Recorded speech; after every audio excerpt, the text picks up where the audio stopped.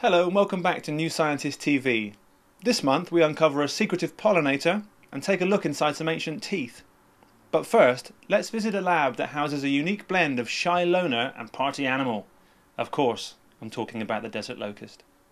I'm here with zoologist Jeremy Niven in a room full of locusts at Cambridge University. Uh, Jeremy, can you tell me a little bit about the creatures behind us? Yeah, what you can see behind you are actually solitary locusts, um, and these are the locusts that live at, at, very low levels in the desert and get together to form the kind of swarms that we, we all see on the news. What is the, what is the benefit of the, the solitary locusts then? The solitary locusts are used by um, people in the department to allow them to study the formation of the swarm itself and right. how animals in the desert go from being um, solitary and cryptic and very shy to being these kind of party animals that form huge swarms. Last year, another team in the department found that the chemical serotonin is involved in this transformation. Serotonin levels in their nervous systems increase when they're around other locusts. With the gregarious animals, it's important that they actually do see one another and smell one another. The solitary locusts were too shy to take part in Niven's latest research, but luckily gregarious locusts were willing to cooperate. He's been watching them walk along ladders. His team has been trying to find out if the creatures use vision or their antennae to find their footing. We discovered that locusts use vision to place their forelimbs on each rung of the ladder that they were walking along. But we also discovered that they use vision only at the beginning of each step and not during the step, and that's quite different to the way humans use vision. If we stumble, we look for a new place to put our foot before we hit the ground.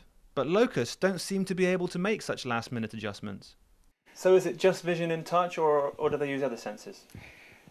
Although locusts rely a lot on their visual system. They also use olfaction, just like we do. They, they smell their environment and they can actually choose where to go based on, based on what they can smell. Here, the insect is given a choice of different smells. In previous training, it had learned to associate one of them with a food reward. It chooses the arm with the odour that tells it there's going to be food. But for how long can it remember that a specific odour is linked to a treat? Another setup is the locust equivalent of Pavlov's famous conditioning experiment with dogs. It should reveal more about the long-term memory of locusts. Next up, we find out what high-tech dental scans are telling us about our ancestors. Sandrine Ceurstemont takes up the tale. In 1998, the skeleton of an early modern human was discovered in Lagar Velho, Portugal. It was found to be the remains of a child who lived 25,000 years ago, at the same time as Neanderthals. Scientists have often assumed that our early ancestors were almost identical to us.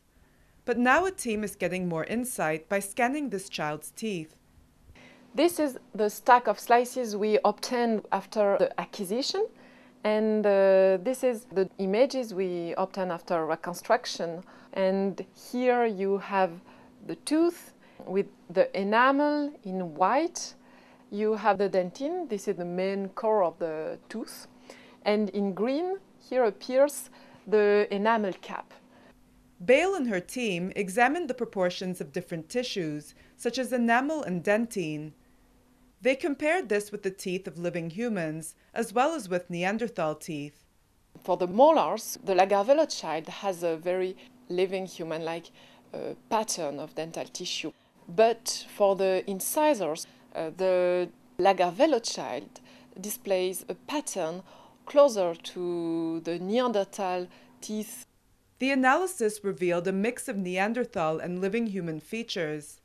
But Bayle isn't surprised by these contradictory results. It just reflects the poor knowledge we have of the early modern humans.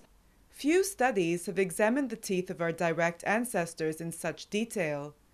It's partly because 3D scanning techniques have only been available to paleontologists in the past decade it really changes the way we consider and we study teeth. Usually, paleontologists have studied the external structure of teeth and the internal structure. It was possible to examine it uh, using radiographs, but in 2D. The technology should now allow more scientists to peer inside early human teeth. It could reveal a lot more than just clues about their dentition. The growth of the teeth is um, well correlated with other aspects of general growth. In all primates, Uh, the brain reaches uh, approximately 90% of its final volume broadly at the moment of the first permanent molar emergence. Bayle is convinced that further research into our ancestors is needed.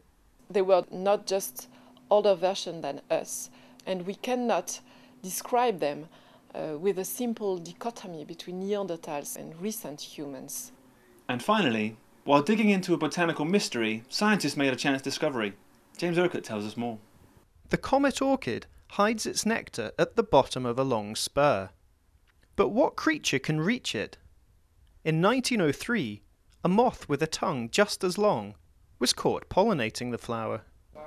Now researchers are investigating the relatives of this orchid.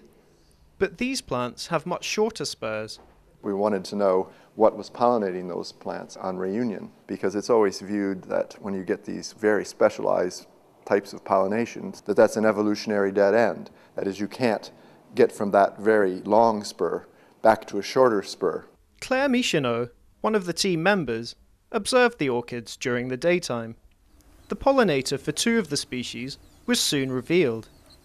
She was able to document the little Zosterops bird, a songbird, uh, visiting these plants and collecting nectar out of their short nectar spurs um, and picking up the pollen masses of the orchids. Part of the mystery was solved, but a third type of orchid had not been pollinated. To see if it was being visited at night, Micheneau set up infrared cameras. She set this up and then was very surprised, of course, to see this little uh, larval stage cricket visiting the flowers and removing the pollen masses. Of course, that's the first time any such insect has ever been documented to be a regular pollinator. Crickets normally destroy plants, so their helpful role was a surprise. But the team also made another discovery. The cricket species was entirely new to science. These crickets are very special crickets because each night they go back to the same nest. They have the capacity to locate particular landmarks in their environment, and it means that they can return to the orchid flowers and collect nectar and pollinate more of the flowers. The team thinks these crickets could be pollinating other plants as well. This includes creeping down into longer spurred orchids to collect nectar. If the opening to the spur is broad, then a short tongued pollinator like the little songbirds and the cricket can actually get some nectar and that sets up a situation where selection can favor the orchids that have shorter spurs. This shows that there are ways out of these apparent evolutionary dead ends. That's all for now, but you can find loads more videos on our website. Find out how our brains react to virtual robots, and see how a new system could save skiers in an avalanche. See you next time.